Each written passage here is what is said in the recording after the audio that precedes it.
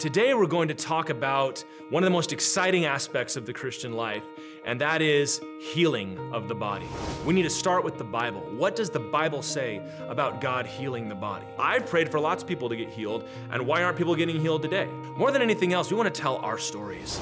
That the Lord saw this mystery, this medical mystery inside my body, and saw me and saw what I was dealing with and wanted to heal me radically changed how I view the Lord. But still, he never gave up on me, and you know, he he delivered me from this from this affliction, and it was it's wonderful. You don't have to think you can only be healed one time. Like God is okay with us asking more than once. So I had to miss out a lot on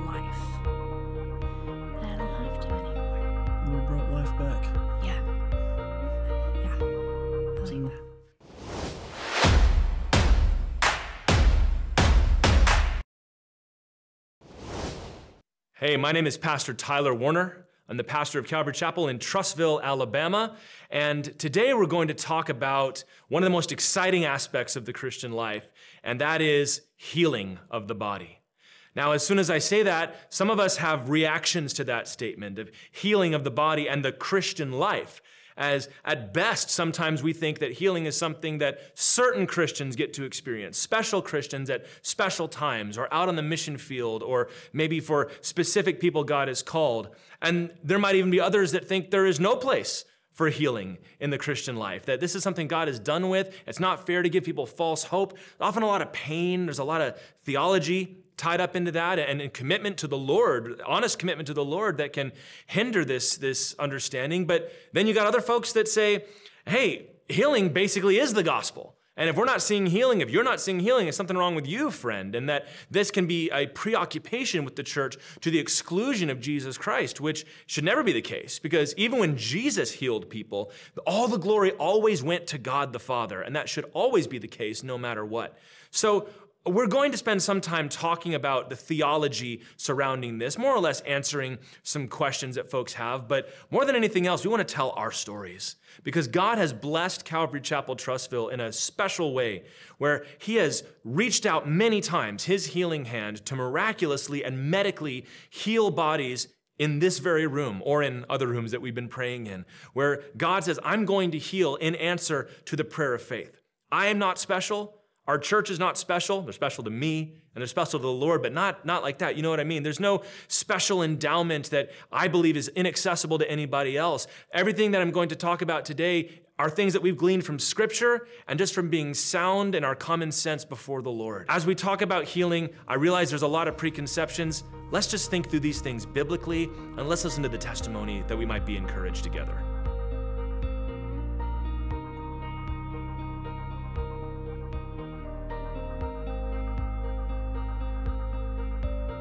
So, as with anything, when it comes to the matters of the Spirit, we need to start with the Bible. What does the Bible say about God healing the body? The first obvious thing is that sickness and pain and affliction were not part of God's original design. God created all things with Adam and Eve and said they were good. And it was sin, it was reaching out to take the tree of the knowledge of good and evil that caused thorns and pain and sickness to come into the world.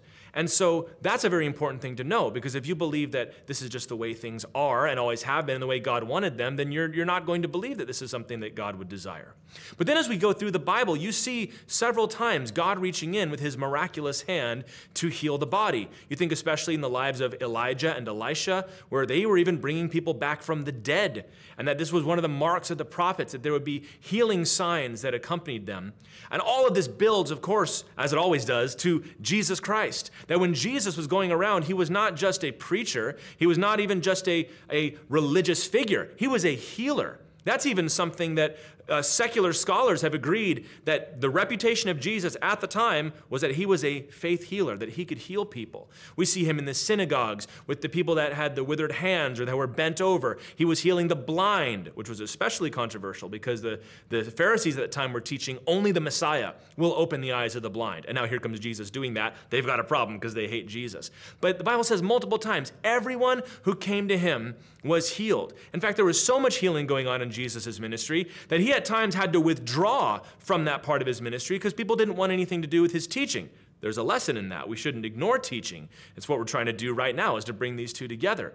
But when Jesus sent out his disciples, he said, "I'm sending you out with the same authority that I have." And he says, "Heal the sick, raise the dead, preach the gospel to the poor." When Jesus sent out the 12 and eventually the 70 to go and preach in the land while he was still alive, part of their ministry was healing. It was a testimony to the fact that God is here and the kingdom of God is at hand. Well, when Jesus, of course, died on the cross and rose from the dead, hallelujah, he said, I'm about to send you all out again. And this time he said, I'm going to fill you with the same Holy Spirit that empowered me while I was alive. And that is so key because Jesus didn't do any ministry until he was filled with the Holy Spirit. There were no secret miracles Jesus was doing at his 16th birthday party. It was when he was baptized at the Jordan River by John that the Holy Spirit came upon him like a dove, drove him into the wilderness to be tempted by the devil, and then he came back preaching and healing. So, in the same way, Jesus told the apostles, Don't leave Jerusalem until you are endued with power from on high. And that's exactly what happened on the day of Pentecost when the tongues of fire came upon them and the mighty rushing wind. It's an exciting story. And the very next story we see in the book of Acts is a healing. Peter and John are going to the gate, beautiful, to enter the temple, and there's a beggar, there's a lame man there. And Peter very famously says, Silver and gold I do not have, but what I do have, I give to you. And he says, In the name of Jesus Christ, let's walk. And he lifts him up, and there's a massive revival, and people are getting healed and they're getting saved. And this is just the recurring theme of the book of Acts.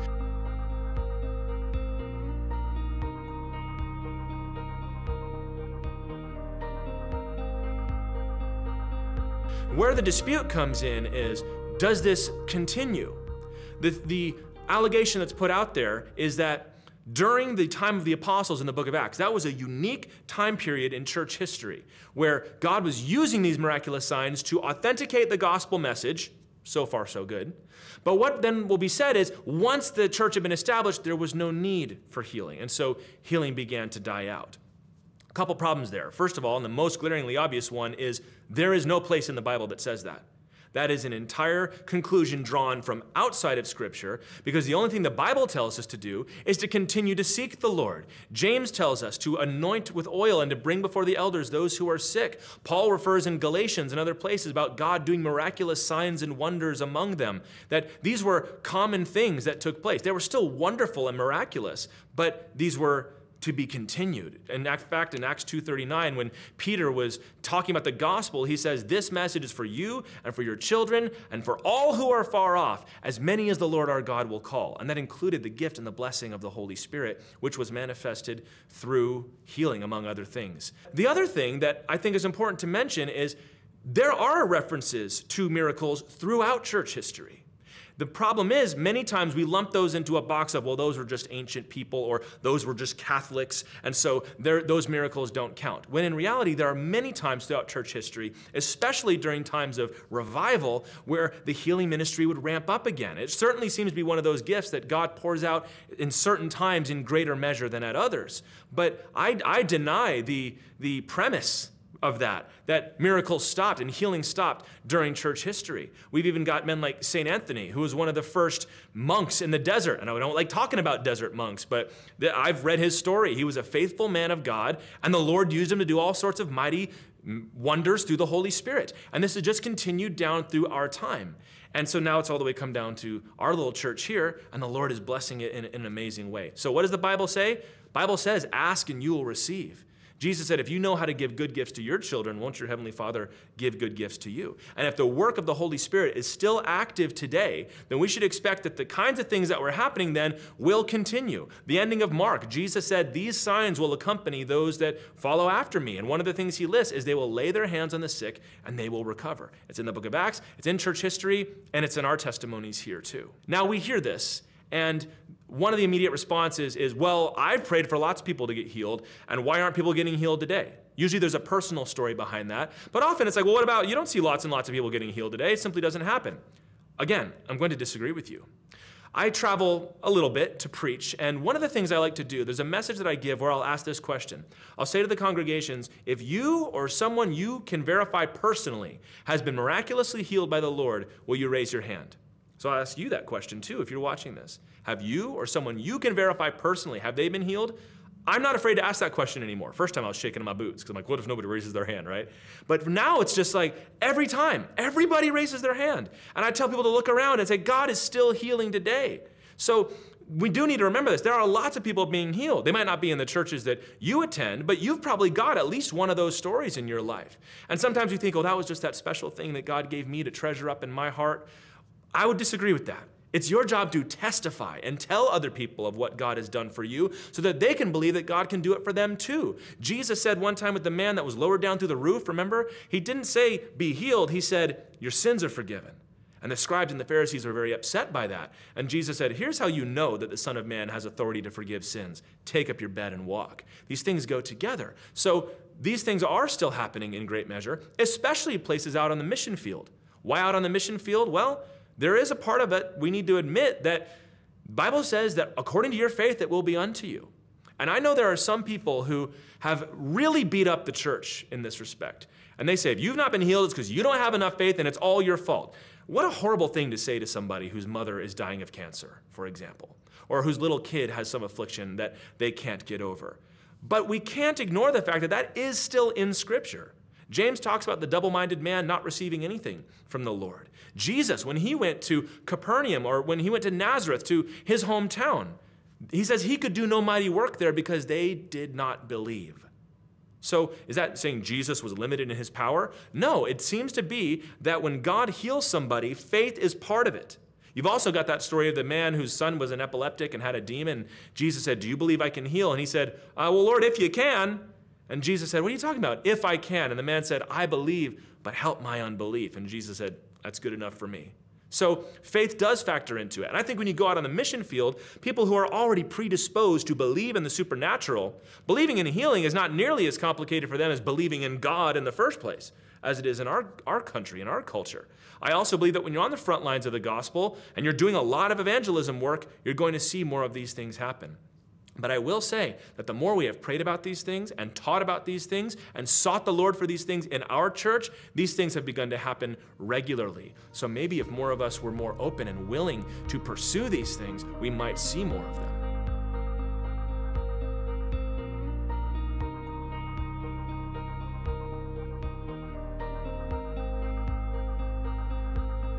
Paul in 2 Corinthians chapter 12 has a very famous passage where he talks about how he had a thorn in the flesh, some kind of affliction of the body to keep him humble.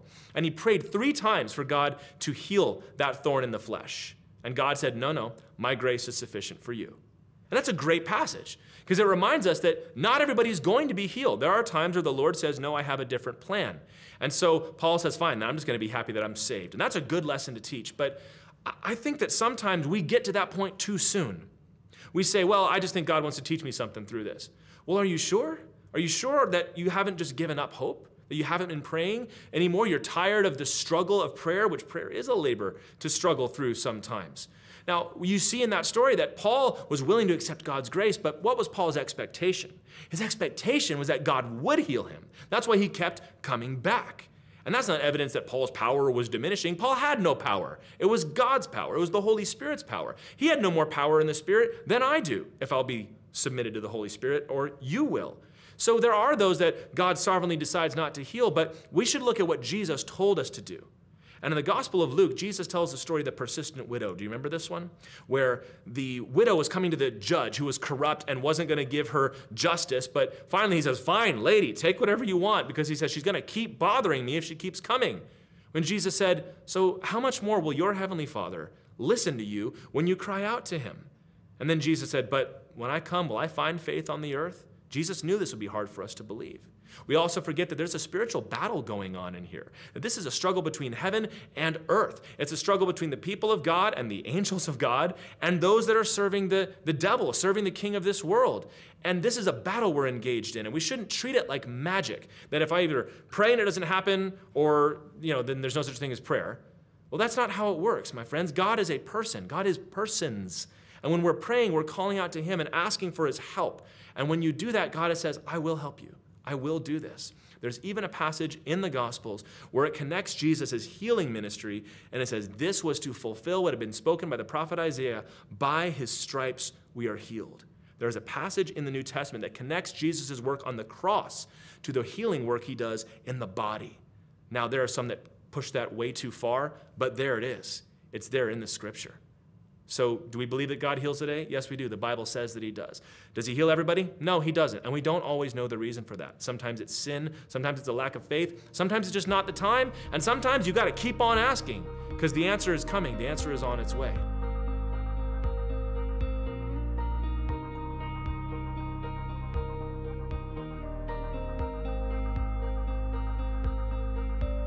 And now, a third thing I might throw out there is what about all the weird people that do healing ministry? There are a few of those. There are a lot of those, actually. And you might ask the question okay, a lot of these ministries are clearly legitimate. Like these people are seriously being healed, but this guy's a, Fruit Loop. This guy's a weirdo. Or these people that their doctrine is wrong, or their practice is wrong, and they're taking the money, and there's all sorts of scandal associated with it. And yet you can't deny people are being healed in this ministry. I think you can look at this a couple ways, but here's the main one God is so gracious. And God is so kind that even when somebody is coming about it all wrong, He will honor His name and He will honor the faith of hurt and suffering people. I also think we need to remember that if you're going to be asking for healing in 2024, and you're going to be praying for somebody to be healed, you need to have a, a certain level of, I don't care what people think about me. Because if you're going to be so worried about what, what people are going to think, and sometimes we pray like this, right? We, we pray in such a way that there's no possible way God could say no because we covered all of our bases, and therefore God is safe and protected. We don't have to worry about Him being embarrassed. But that's not the prayer of faith. That's a prayer of doubt, really, more than anything else.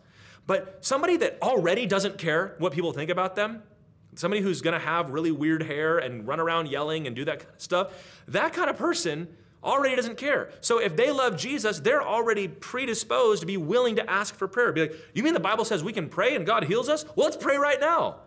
And we all can learn something from that. Now, the people that are seeing the moves of the Spirit of God, they may be soft on their doctrine, but boy, they are strong in their faith. And we need to make sure that we are not so strong in our doctrine that we get weak in our faith. And in fact, if our doctrine is causing us to have less faith, then maybe there's some bad seeds being planted there. But more than anything else, I'm not really interested in what somebody else is doing. I'm interested in what the Bible says. And I'm interested in what God, the Holy Spirit, wants to do in my life and in the people that I love and the people that I minister to. And that's what we've seen at Calvary Chapel, is that God is still healing today, and He's healing a lot. I have no power, I have no special endowment, but I think I have faith. And I hope this will build that faith in you too as we listen to some of these stories.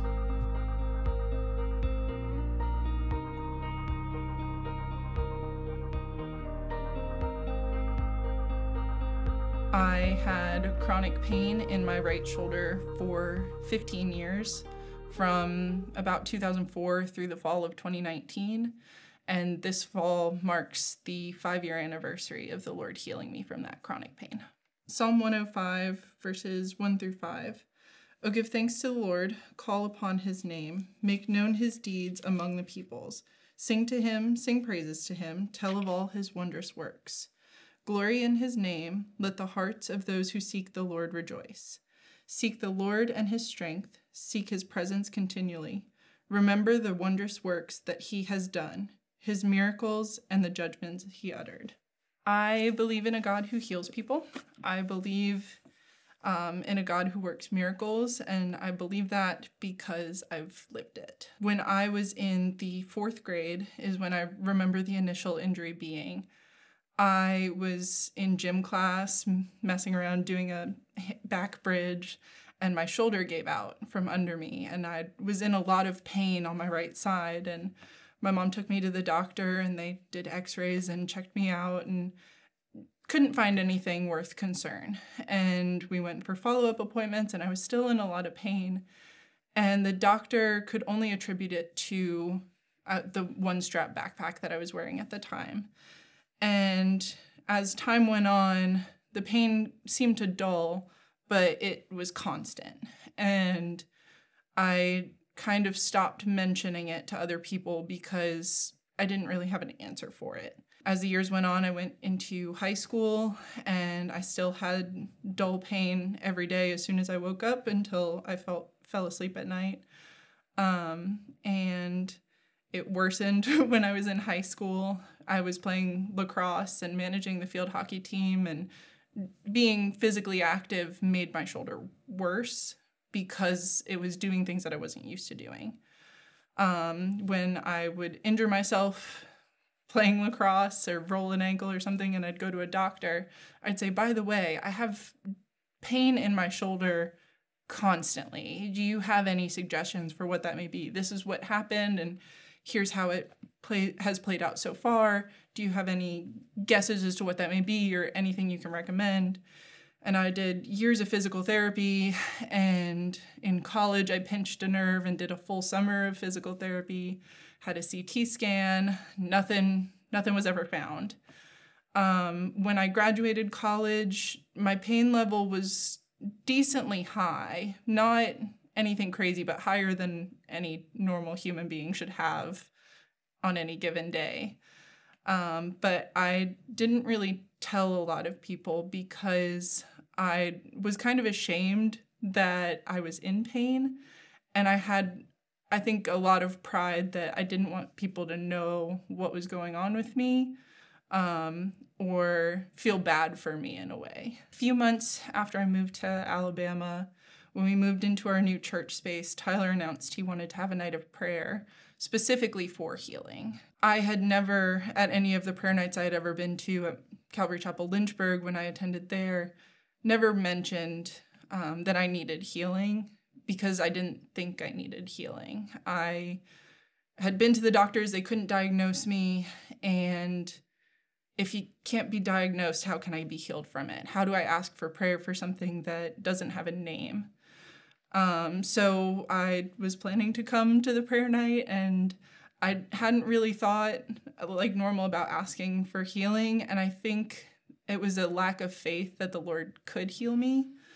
Um, but that night, I specifically remember as I was driving to church, I was in some of the worst pain of my life. Um, I had had broken bones, and it was on comparable levels of pain to that. Um, and it was in both of my shoulders that night. And it felt, I, I can only really describe it. It felt like someone had a sword down through my spine behind my shoulder, my shoulder blade, and was just turning it around. And I could feel it twisting behind my shoulder blade. And I, I got to church, I couldn't focus. And as we turned to prayer, I I knew I couldn't live like this anymore. And when Tyler asked if anyone needed healing, I shot my hand up. I said, I can't can't live like this anymore. I'm constantly in pain and I don't talk about it because I don't know what to do about it, but I I need the Lord to heal me. And so everyone gathered around and they laid their hands on me. As they prayed for me, it felt like a, a weight was lifted off my shoulders. And all of the pain in my left shoulder, which was normally my good shoulder, was gone. I still had a dull ache in my right shoulder, but at that point for me, it, I was in relief, more relief than I had felt in years. We went about the rest of the prayer night, and I went up to Pastor Tyler and Zach after, and I was like, hey, this is amazing. All of the pain in my left shoulder is gone. I still have a little bit in my right, but I, I'm feeling good. And they were like, nope, not good enough. We got to keep praying. So they began to put their hands on me. Tyler anointed me with oil, and they asked specifically, okay, where is the worst of the pain? Is it here? And they would put their hands on me and they would pray. And I remember every time Tyler put his hand on me, it felt like he was touching me with like a burning stove plate. His hand was so hot every time. And I I don't know why, but that specifically sticks out to me. And they would pray and the pain would move in my shoulder to a different part along my neck, along my spine, but in that same shoulder region. And they were like, okay, it moved, let's pray again. Okay, it moved, let's pray again. And after four or five times, it was gone. No more pain. And I started crying, and um, they explained to the room, the people who were still hanging around after service, that I was healed. And we all rejoiced together. Tyler t- looked at me and he says, I, I want to show you something. And he takes out his phone and he pulls up a note of a vision he had that morning. And he wrote it down in the notes app of his iPhone. And he had a vision of something moving around in someone's upper back and shoulder between their neck and the base of their spine. And in that moment, I felt so seen by the Lord. Um, in the Bible, they call him El Roi, um, specifically Hagar as the God who sees me, feeling so known that the Lord saw this mystery, this medical mystery inside my body, and saw me and saw what I was dealing with and wanted to heal me.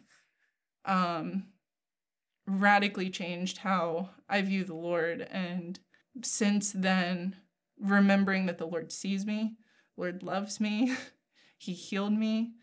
Um, it's it's such a relief. Like there's so much peace and joy that comes with that, being known by the one who made you. Um, it, I don't have enough words to describe it. The Lord's just been so good to me. So, the first person to be healed at Calvary Chapel was Emily. And we had been praying for a long time because we believed that the Lord could heal. We knew the testimonies, but we we're saying, Lord, we want to see somebody healed in this room right now. And that night, before I was preparing for the service to come out, I believe it was during our week of prayer, uh, I was just writing things down on my phone and saying, I, I, Lord, what about this? Just thoughts that I have. And the Lord put this thought in my heart that pray for somebody whose back needs to be healed. I said, okay. And then there was other thought that came in, eh, moving. I was like, that doesn't make any sense, moving. But I said, all right, I'm just going to write that down because it's from the Lord. And as we laid hands on Emily and began to pray for her, she said, okay, I, I it doesn't hurt there anymore, but the pain has moved over over here. And so we prayed again, and now it's moved over there. And so I knew, okay, this is from the Lord. And so I showed her the same thing. I said, this is what God said to pray for. So we're going to stay here and pray until you feel 100% better. And we did, and we prayed, and, and as she said, she was healed in that, that moment. And I stood up, I was jumping up and down, hey, everybody, look over here, Emily's doing great. And it was, it was so amazing. And you'd think it'd feel like that all the time. You, it's amazing what you can get used to. But that was an example of the Lord giving me a word of knowledge ahead of time that this is somebody you need to pray for. And I try my best to listen to those things now because sometimes, yeah, it might just be a thought that I have, but sometimes it could be the Holy Spirit of God giving you a heads up, and you got to pay attention to those things.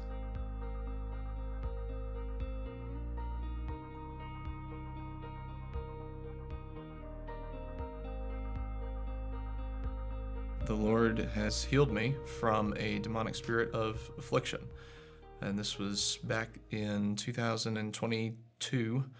Well, really, the story started in 2021 uh, with demonic nightmares that I was having. And the, the image that I remember seeing in my mind was I was under underground looking down into the pit, uh, as it were, and uh, monstrous creature came out of the pit and in a very guttural, sort of raspy kind of voice, outright said that I'm going to get you. And it was three or so weeks later after that, into the new year, that the first symptoms of the affliction started to show, which ultimately amounted to exhaustion and brain fog and just an inability to function in most areas of day to day life. Um, certainly wasn't able to enjoy hardly much of anything in the day to day life.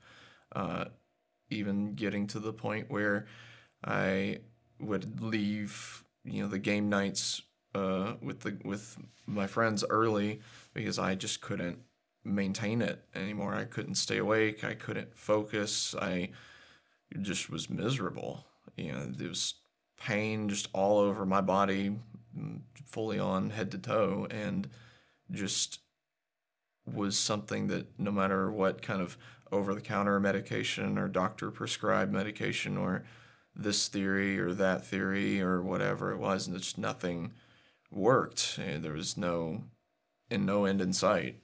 You know, even after getting a CT scan done, there was a brief moment where one of my doctors uh, believed that I might have had multiple sclerosis, which was also uh, a shock that I didn't quite fully comprehend when it was first told to me, but within maybe the next 10 minutes or so, it, it landed pretty succinctly what it was. And so it was it was something that there was going to be no other deliverance but the Lord. There was going to be no way out except for the Lord getting me out of it. That was really brought on just by a long run of untreated, unrepented sin, is really the short version of how did I become susceptible to a demonic spirit in the first place is just sin that just stacked up and stacked up and stacked up. And instead of having a short account with God, I had a rather long one. And that's how I got squarely put in the enemy's backyard, so to speak. And it came to the point where we had a week of prayer at our church. It was the week before Easter, and on the our, the last night of the prayer week on a Thursday, I remember I was the last person to get prayed for that night, uh, and I had to get prayed for twice. You know, the first round was exactly as Scripture ordains. You know, the congregation lays hands on me. I'm anointed with oil and I'm prayed for for the healing of my sickness and the forgiveness of my sins there. And the pain didn't go away, the pain moved. Uh, and that was the first telltale sign that we knew it wasn't just any ordinary mundane sickness. It was something spiritual, something supernatural. And and so our pastor and one other brother uh, took me aside afterwards and prayed for me again.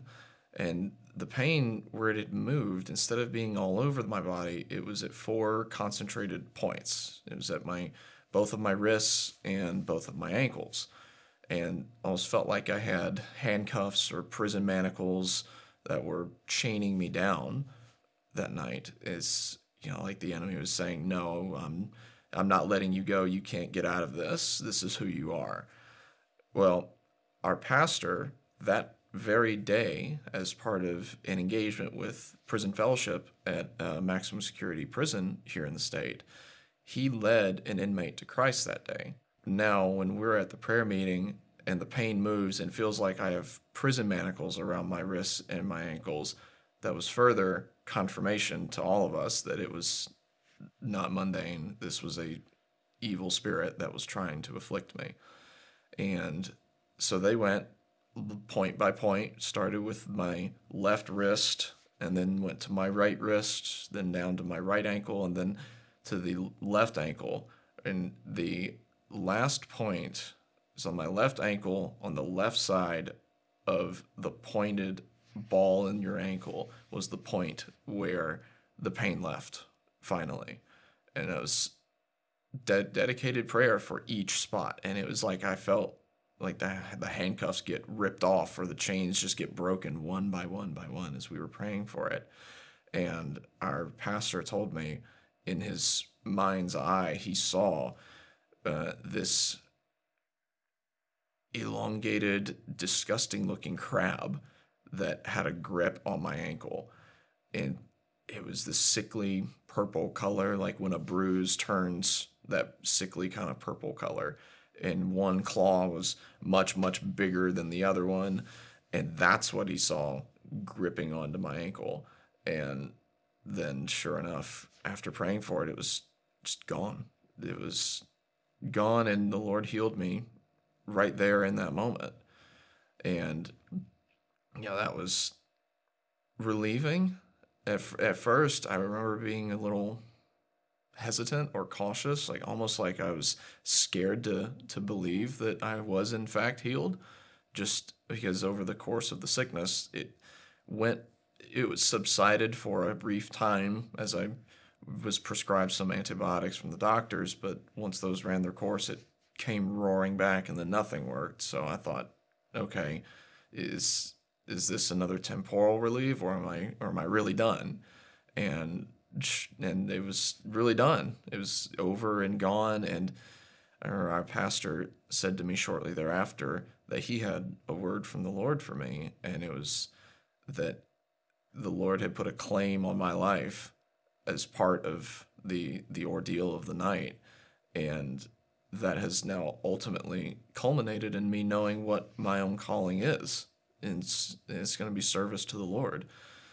But now, with that testimony in hand, I remember thinking about it now, I remember asking in prayer for a testimony to share, probably about the time or a little bit before the time that I had that demonic nightmare before this whole ordeal started. And maybe I had a different idea in mind of how the Lord would answer that prayer, but he's answered the prayer and was faithful and steadfast through it all.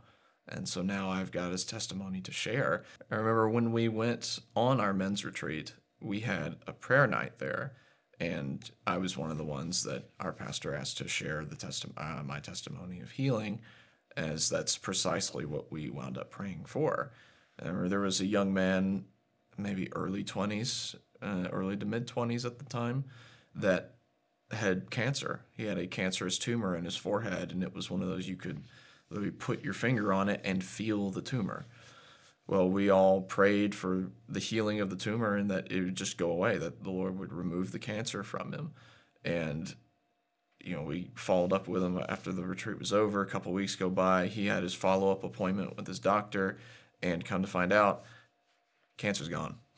Lord showed up and took away that took away that affliction too. You know, just from sharing of testimonies and praying and laying on hands and anointing with oil and all the rest of it. And now uh, I have the opportunity to live out my calling and to attend my first ever missions trip where I'm sure I'll have ample opportunity to share the testimony time and again as we go overseas to a nation where it's there have been there have been some stories as we've we've gone there once already and there's just been mighty works of the Lord from the first time around and I we're going back so clearly the work's not done and there's there's more to do.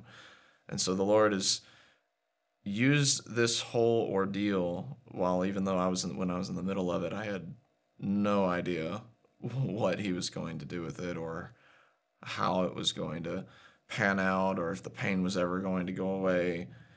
The Lord was orchestrating a testimony to share now for the future, but then also saw use that as a chance to finally grab hold of me and my very stubborn to get attention sometimes. And is now laid claim to my life in a way that I that no matter how hard I might try I could not ever wiggle out of or rationalize my way out of. And so the Lord has just been just infinitely faithful and to me and has been steadfast in his love for me even when for large parts of my life I didn't really have any love for him, didn't walk wasn't walking with the Lord.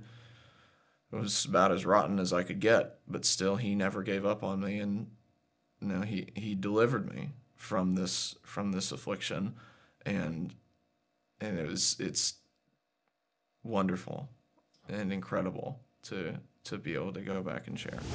Brandon's story is, is a pretty radical story, and he'll tell you all about it how he had this, this sickness that came upon him and was seemed to be getting worse and worse. And until that one night we just began to pray for everybody in the room to be healed all at once. And, and he felt the, the pain just move and shift in a, in a strange way. And Jaron and myself began to pray for him right up here right up in that, that place where we're sitting, standing right now. And uh, we're, as we're praying for him, the, the pain begins to go away, but it begins to focus weirdly, how he described it, in this one place on his, on his ankle. And as we're praying, the Bible talks about visions. And I've never had anybody explain to me what a vision is, but over time I've learned that that's one of the spiritual gifts that God gives me, is that I'll have an image in my mind that God gives that I can't mess with. That's the only way I can describe it. Is it's like uh, a mental picture, but you can't tweak it. So if I said, think of an elephant, okay, now put a pink hat on its head. You can do that. Now you got an elephant with a pink hat on its head. It's like an imaginary picture that I can't alter. And I've had this several times, and I've known it's from the Lord because there's been circumstances in people's lives that have been totally changed. And this is one of them. While we're praying for him, uh, I saw this uh, like on superimposed over his ankle in my mind's eye, this big, ugly, looked like a like a dark purple crab crouching on his leg, which was strange to me. And the only thing I could think is, well, that's not something from the Lord.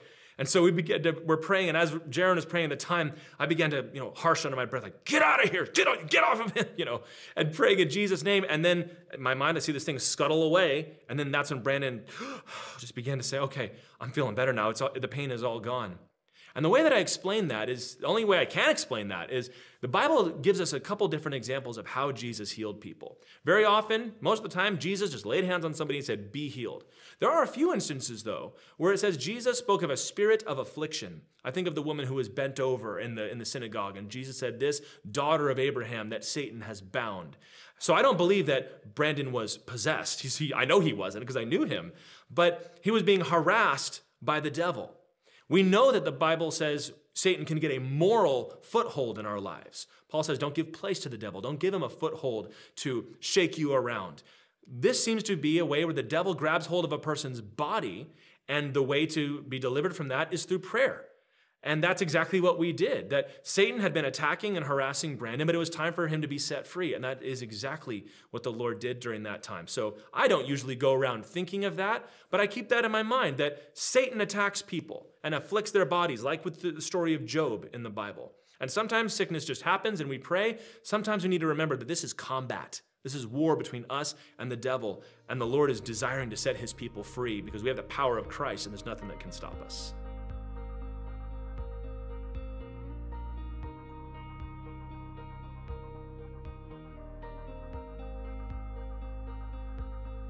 Well, hey, y'all, my name's Daniel.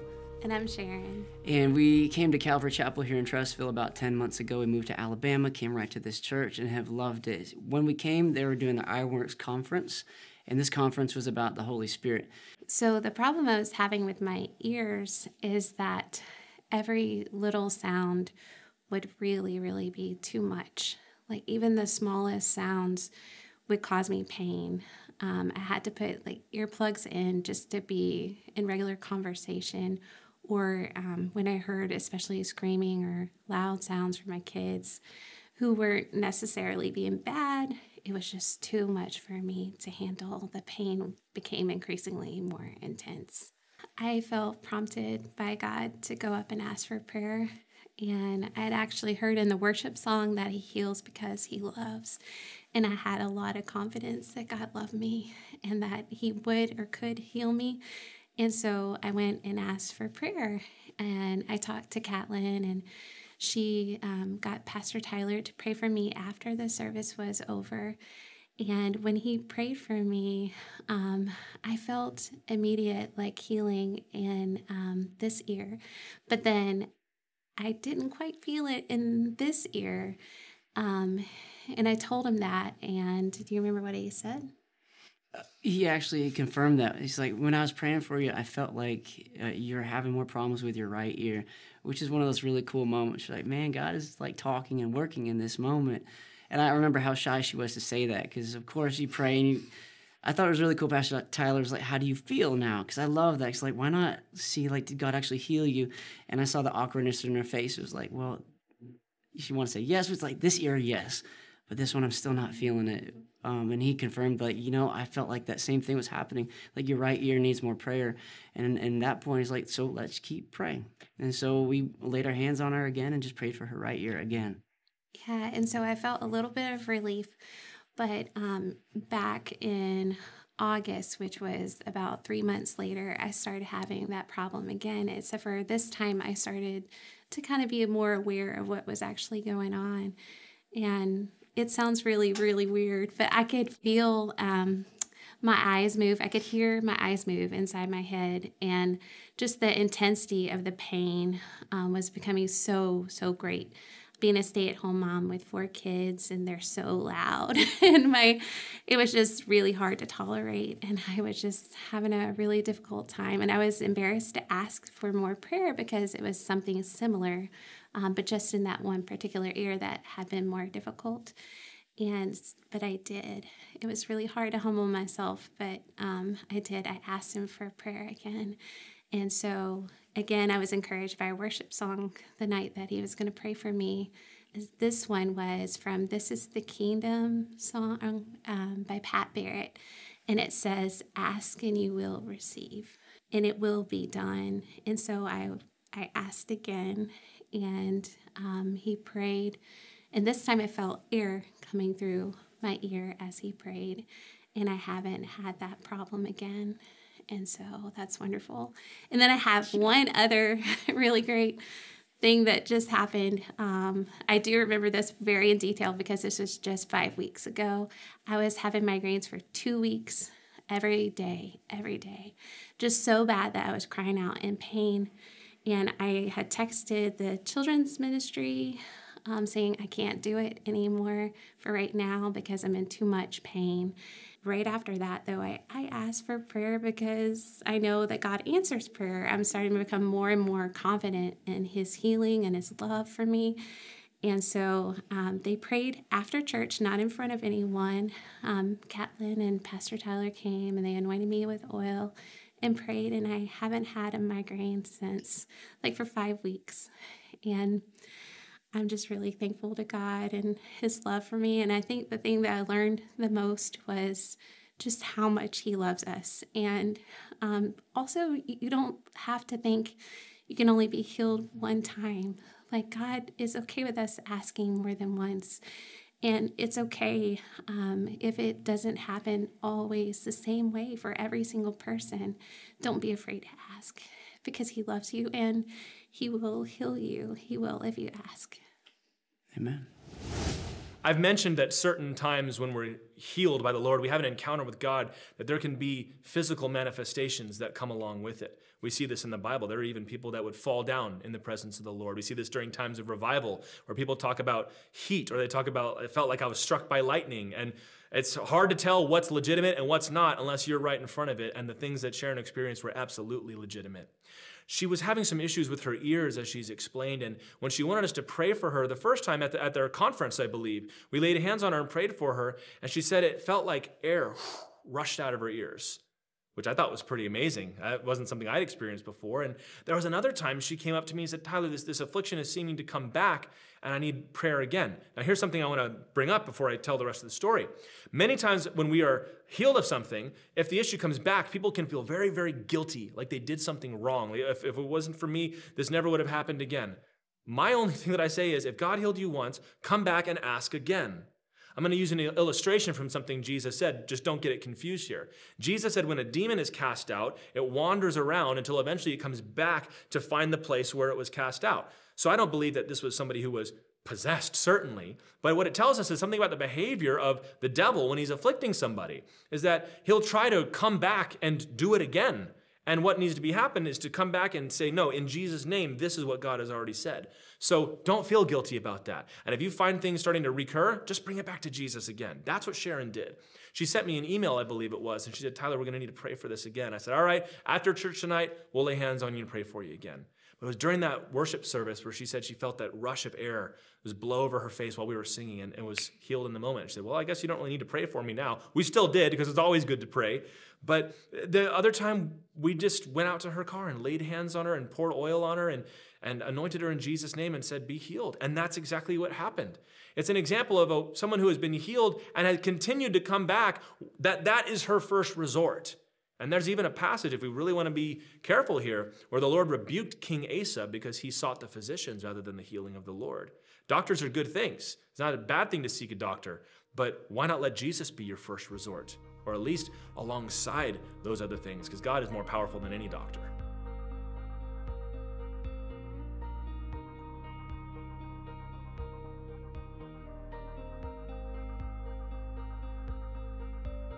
So my health journey started when in elementary school. I guess before that, um, I had asthma, and that caused a lot of problems. And um, dealt with that all through elementary school. And then get into middle school, to sixth grade, um, started having more health issues. Come to find out that I had had acid reflux my whole life. Um, asthma and acid reflux go hand in hand. Um, and I was a cougher, not a wheezer, so doctors didn't think I had asthma because a lot of doctors didn't believe in that at the time. So one that was already hard. Um, and then two, then when the reflux came around, um, the asthma medicines helped if we got the asthma under control, that's why the reflux didn't pop up.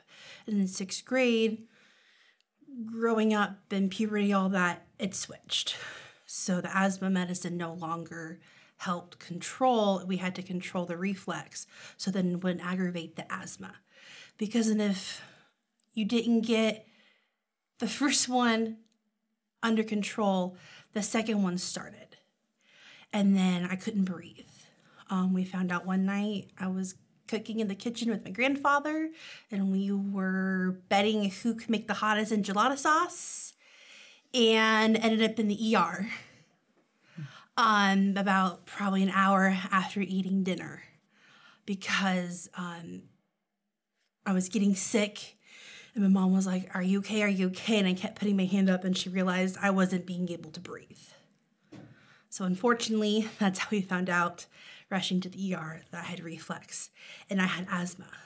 Um, did not realize at the time until eighth grade that it was GERDS, which is a very severe form of asthma, which wasn't shocking at all. Roll around to eighth grade, the week before spring break, I complained, Mom, I am just so tired. I don't know how to explain it. I am exhausted. Like sleeping isn't helping. Um, so from that week to the end of the school year, I missed. I, I mean, I would, I physically couldn't handle going to school and getting up in the morning. It would take all of my energy. I was just so tired. And then that week, I started getting sick even more, of throwing up, and the asthma. Nothing could really was able to control it. Um, we were going to a specialty doctor, and they ended up doing a um, colonoscopy and an endoscopy in the same day. Um, and that's when we really found out it was GERDS. And then realized there was other things, didn't know what they were. There were possibility of IBS, IBD, colitis, Crohn's. Um, the doctor had put me on a medicine to help with all that, um, but we knew that wasn't that was another thing going on, but there was still more. Um, long story short, I won't get into it, but I ended up being healed of that situation. Came home from camp, told my parents I stopped taking my medicine. I got healed from that. My parents freaked out, took me to the doctor, and he was like, "Oh yeah, I don't see signs of it anymore. She's fine. She doesn't have to take the medicine anymore." And my parents were like, "Okay, so we just wasted a couple hundred dollars on medicine, but I don't have the issue anymore. So they were grateful. Every even grade year, I would get sick in school, not fully understanding what was happening. You know, we knew it was GERD, we knew it was asthma to an extent. Come to 10th grade, um, we had moved to a different town, um, and my episodes were getting worse. They would be consistent of I would feel something in the back of my throat and it would build up and um, I would start coughing and gagging and just get sick and then get like a headache from it sometimes. And it was just, it was not fun. and it would just zap me of all my energy. So, come um, by 10th grade, we were in a whole different city going to it went recommended to a specialist and um, a ears, throat, ears, throat, and nose doctor. And he looked at me and he's like, "What do you do for at school? Like, what activities are you involved in?" I said, "Well, I'm involved in cheerleading and choir." And he's like, "Are you just a natural talkative person?" I said, "Yeah." and he was like, "You've got it's like five syllables long. I can barely pronounce it. Well, I'm probably gonna butcher it. Jan." Layer of phonetical it's it's it's a mouthful but essentially it has symptoms similar to GERDS. So we discovered that in 10th grade and that helped, but we knew that wasn't, there was still more to it. No one could pinpoint where the fatigue was coming from. Mm-hmm. Um, by 12th grade, I had another endoscopy done. And the doctor basically looked at me and was like, oh, there's nothing we can do for you. You're going to live with this the rest of your life. Okay, great. Already knew that. Didn't need another, you know, um, because there was hopes of surgery of helping. now that I was an adult, I was 18. Fast forward a few months after high school, um, my family doctor, we were dealing with issues, and he was like, Did you ever get blood tested?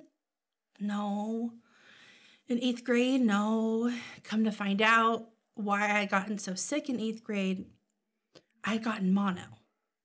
But mono had brought other issues to light. And so then it turned into it was either mono or Epstein Barr, and then it turned into a chronic mono. So then every few years on the spot, and when it got into like the winter time, it would act up. Um, and that was the cause for the fatigue. And so then, you know, everything combined, it was just like a domino effect. If you acted one up, you acted them all up. Then fast forward a few years later, um, on and off, I'd been dealing with migraines my whole life, but they ended up getting worse. I ended up getting gluten intolerance. Uh, by that we that time we were already together. We were married when I found out about the gluten intolerance. Fast forward, we ended up down here, and um, I was having to miss a lot because I was just tired. You just didn't feel good at all. Yeah, I didn't feel good at all. Things were just they were slightly getting worse, but there was really nothing you could do about it. Just watching my di- trying to watch my diet. I didn't feel as tired if I ate, you know, gluten, but but you know, didn't care anything. Um, it was what within our first year or so. It was at a prayer night, um, the sanctuary in the new built in the sanctuary over here. I think it was our first prayer week. It was actually in this side, Oh, the was it old, this side? side, yeah. I didn't remember. See, I wasn't It able to be was there. the uh, not last year, but the year before. Yeah, so um, she had had to miss a lot that week. She couldn't come to the prayer service because uh, because of the uh, episodes. She just cough and she would just get so tired from all that stuff. She would feel fatigued. She just couldn't come. It just was hard on her. And uh, we had several friends that week who um, just kept her in prayer that whole time. Stephanie. Stephanie first one. Christensen and Brandon and my brother and all of them were just like always praying for that week. And we brought her up and prayed for him. Then uh, I think it was the third night in, Brandon said, Hey, we should just come over to your house and pray for your am- Amber. Just, you know, like pray that the Lord would heal her. Because that's really what we're trying to do that week was just bring our requests before the Lord and let the Lord take care of them. So, like, okay, that sounds good. I guess I hate to say it, but at that point, both of us, we had grown so, because she dealt with it for so many years, we'd almost grown numb to it. Well, it's like we knew healing could happen, but I'd come to the terms of, all right, well, this is part of my testimony. it's just going to be with us for the rest of our lives. And not that we couldn't believe the Lord couldn't heal it, but it took somebody out on the outside saying, hey, let's just come in and pray for it. Let's just bring it for the Lord. So Brandon came over and uh, Stephanie and a couple others and just came There's over. About 13 people Yeah, or like so. Um, the funny part is no one meant for, we forgot to mention to Tyler and Kat this was all happening. Everyone just kind of came over. Uh, it was a Thursday night. Yep. um Jer- Jaron came home on Wednesday because that Friday we were supposed to have a bonfire at the house. And Jaron came home Thursday and was like, hey, like, because of the weather, the bonfire got canceled, but we're still having people over. And I was like, sure. And he's like, they want to come over and pray and heal you. And I was like, would love it. If it happens, it happens, you know? Yeah, they came over that night and they just first thing they did is just walked in the room and said, "All right, tell us briefly what's you know what you've been dealing with," because some of them didn't know the full story, and literally we just all sat in a circle, put her in the middle, and just laid hands on her and prayed, And they asked what was bothering me in that moment. and it just it literally was I think it was like maybe twenty minutes of of us just sitting there praying before the Lord. And you know throughout that 20 minutes the Lord just started working on things. At one point Jason brought up um, hey is there like heart issues that's maybe getting in the way of why the this is a spiritual warfare maybe this is why things are hard for her and she had just recently gotten through a bout with losing a friendship that meant a lot to her and through that, Jason praying for that, she was able to let that go. And literally right after that is when you started to feel changes. Well, yeah, it was before that too. I forget who prayed for it, but the fatigue went away 1st Um, it just felt like it was just pulled straight out of just straight out of my body. And then I don't remember if Jason praying for, for the matters of the heart was before or after getting this sick. But they prayed for because I was feeling the stuff in the throat. And they asked for that to be gone. And I physically got sick. And I had to go to the bathroom with Jaron and just have an episode. And when I came back, I no longer felt the mucus sitting back there anymore. And we just knew that was like, that was the last time I was ever going to have an episode. And it was. yeah, I know it was. been about, was it two years now, I guess, a little more? And she hasn't had an episode like that since. The fatigue is gone, the coughing, the gagging, all that stuff is just gone. Yeah, both refluxes are gone. The asthma's gone. Um, the gl- gluten intolerance is gone. The used, migraines. used to be you couldn't even sing out loud like because it would just cause you to irritate your throat but after the prayer session we had we were just everyone was so happy with how it turned out that we all went out to eat and we started blasting her favorite band Hawk Nelson she just started singing to the top of her lungs and it didn't affect her like she could sing like it she didn't get like any episodes coughing like he was just done went and ate spicy food because that was also something I couldn't enjoy. And I love Mexican. Like like I said before, that's how I gotten sick. And so they were all like, push it. Eat the spiciest food you can possible. And I was like, I'm going to. And I did. And on there on the way back, I was singing and didn't, you know, and was talking and the whole time I didn't get sick. I didn't have an episode.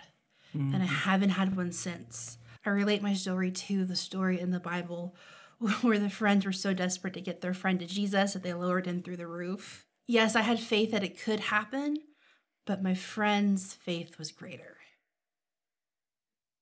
You know, it's not that I didn't want to ask for it, but they were like, You are asking, we are asking for it for you, you know, and they lowered me down.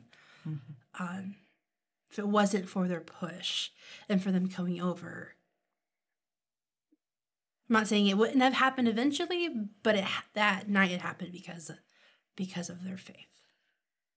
We have a good family down here that we pray for each other, and it was a, just an encouragement because, like I said before, when you have something, you deal with something for so long, it can be easy just to put it in autopilot and just deal with it when it comes and just think it's a normal part of life. But you have friends down here, family, who say, No, the Lord can heal this. Let's bring it for the Lord. And certainly He did. That He healed her that night. And she's honestly had a way better quality of life since then. I couldn't ask for anything better for her. Yeah, it was hard on him. You know, he didn't always understand.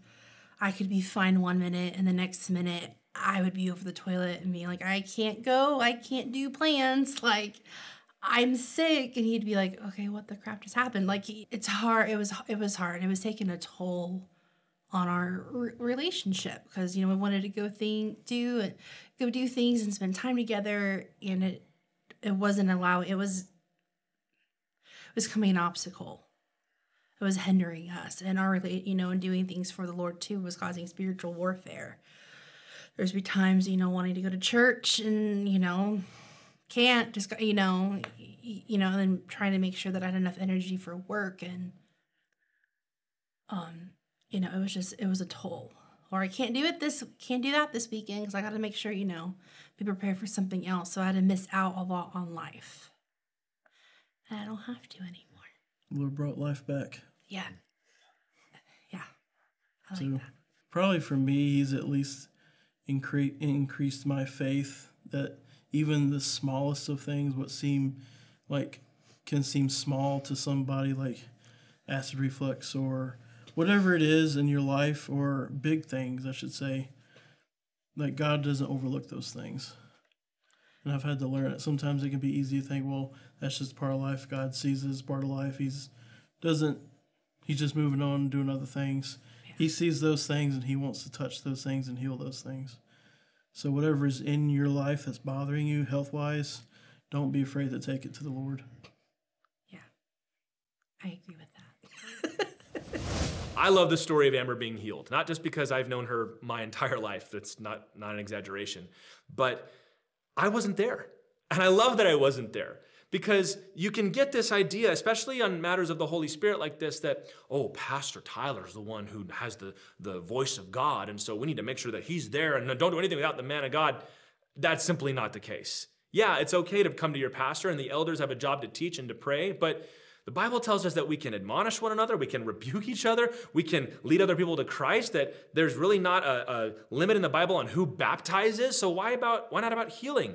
That they just went over and in faith prayed for this woman and she was healed. I love hearing things like that because my job is not to do all the ministry. Ephesians 4 says it is my job to equip the saints for the work of ministry. And that's exactly an example of what went on. And I'm hoping that you'll do the same thing, that you'll walk away from this not thinking, I got to go find a good pastor to pray for me, but that you will just start talking to Jesus yourself and in, in asking the Holy Spirit to intervene on your behalf because he will.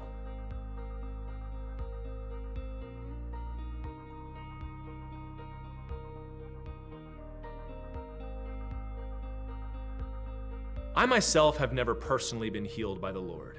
But I have been used gratefully many times to pray for people and see them be healed. And the greatest and coolest story I could tell was this night I was doing ministry in Peru. We were down there, I was down there at the Bible College, Calvary Bible Institute there. And one night I went out to, uh, lead, to preach and then to lead a prayer meeting at one of the church plants they had in, in a rough area, a rough part of town down there. And just the nicest, kindest brothers and sisters in Christ. And we began just by praying, waiting upon the Lord, words of encouragement, allowing for the spiritual gifts to be exercised. And then as we come to the end of the, the night, really, we we're coming to the end of our time. And I said, Is there anybody here that, that needs healing? And we talked a little bit about healing, some of the things I've already mentioned here. And, and uh, would you like to be healed? And a lot of people raised their hand. I said, It's okay. So let, let's pray for them. And my friends, we saw 14 people healed that night in a span of about one hour. And I did not do anything different than I had ever done before. I didn't have any special, you know, trembling that was happening in my hands. I didn't have any new, fresh ideas. It was just walking around, laying hands on people, and praying for them. I will say that you could tell the Holy Spirit was there in that moment. It was very heavy in the room, that, that presence at the time. But we hadn't done anything different to gin it up. The Lord was just there. And I, I could tell you every one of these stories, but let me just tell you a few. One of which was there was a woman whose neck was hurting her and she, she couldn't bend it down all the way or bend it all the way up. And she was having trouble with the pain. And, you know, we go and lay hands on her and praying for her. And when I said in Jesus' name, amen, she startled under my, my hand and she started breaking down crying.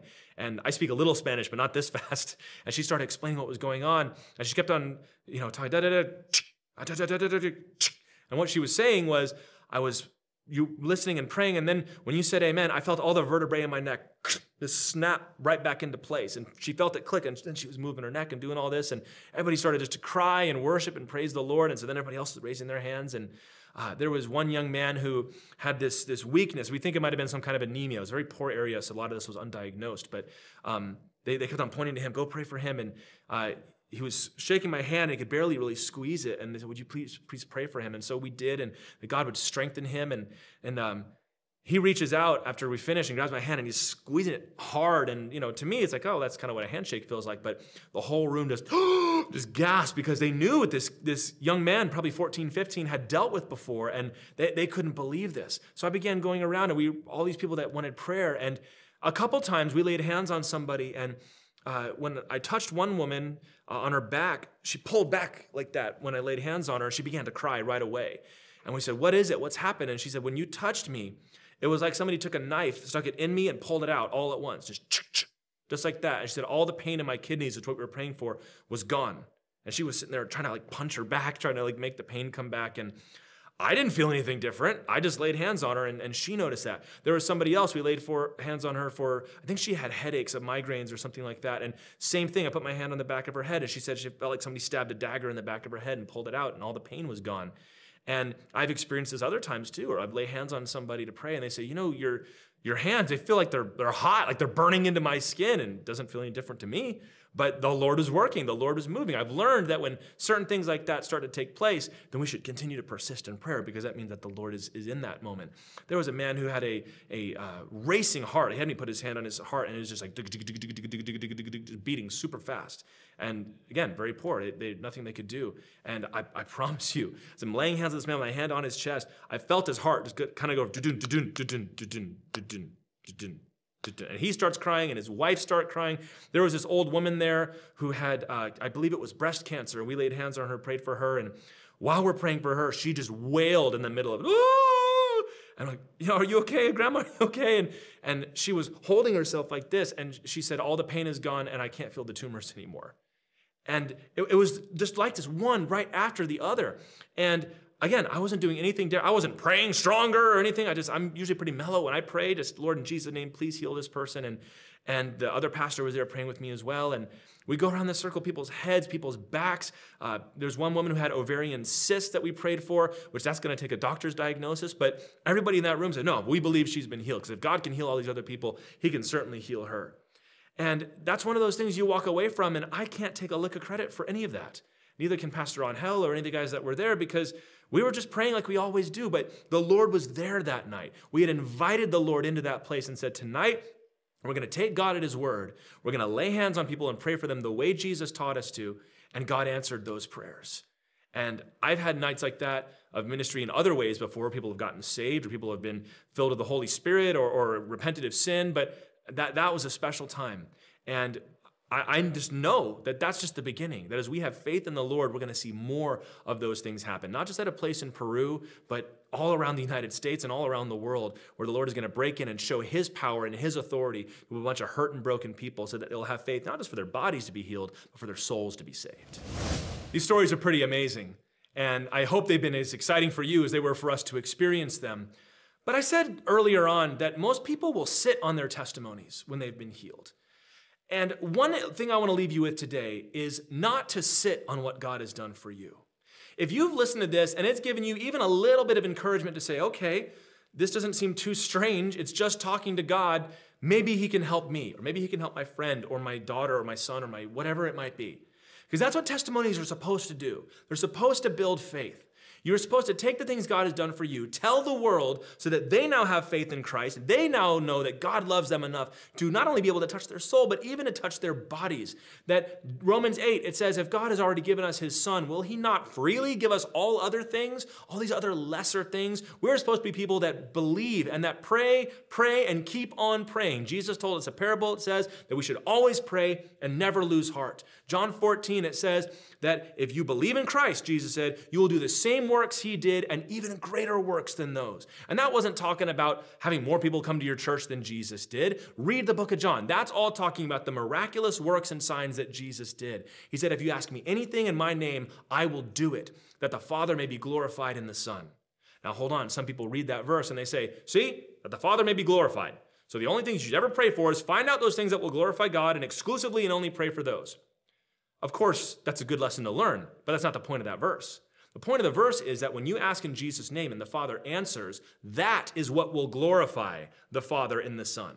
God is glorified by answering your prayers, which is why in the following verse, Jesus says it without the qualifier. He says, If you ask me anything in my name, I will do it. This is all a call to prayer, a call to prayer to believe that when the Bible talks about healing, it's not just a metaphor for God helping you work through struggles. Those things happen, and we could tell more stories about how those things happen at the same time, that something internal was handled by dealing with something external or vice versa.